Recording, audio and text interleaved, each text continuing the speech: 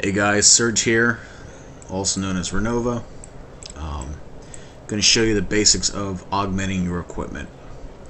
Now, we're going to go ahead and I'm going to augment uh, my pant slot here.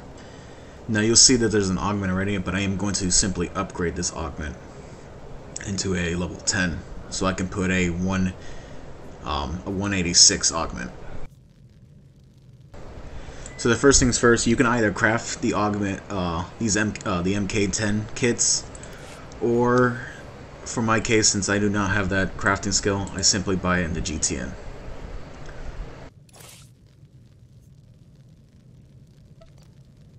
So to access it, you want to go to miscellaneous, and to make things quicker, you can just type up MK10 on the names here.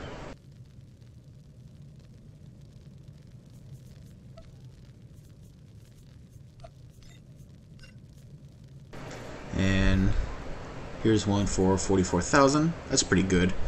So go ahead and buy it.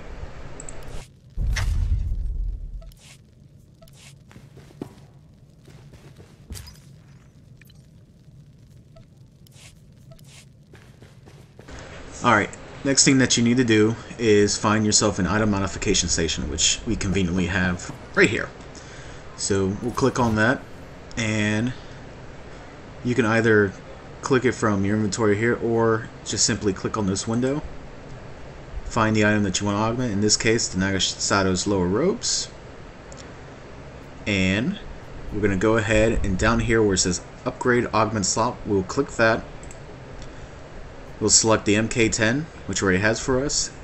Now keep in mind that it costs an additional credits to put the augment in. So keep in mind that not only that you'll have to buy the augment kit, but you also have to spend the money putting it into the armor.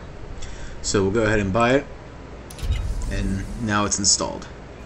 Now the next thing we do is purchase a augment uh, modification to the new slot.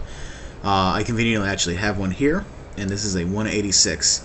Now you'll see on the description it will say requires augment slot MK10 or better. So in order to use this augment, you will need to make sure that you have the appropriate kit that can support it.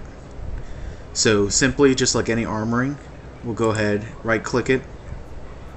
It will attach right here and just simply hit apply. It'll give you a warning. You don't have, you can click that off if you want, but I usually keep it. Hit accept, and it's in. Now, augments are vital because it helps gain you additional stats. And there are different types of augments. You have one for main stat, you can have one for having a secondary of power or crit, alacrity, etc. etc. Um, this is basically where you're going to have your ver uh, your variety and how you want to build your character. So I hope this guide helps, and if you have any questions, just type in the reply on the website. Thanks for watching.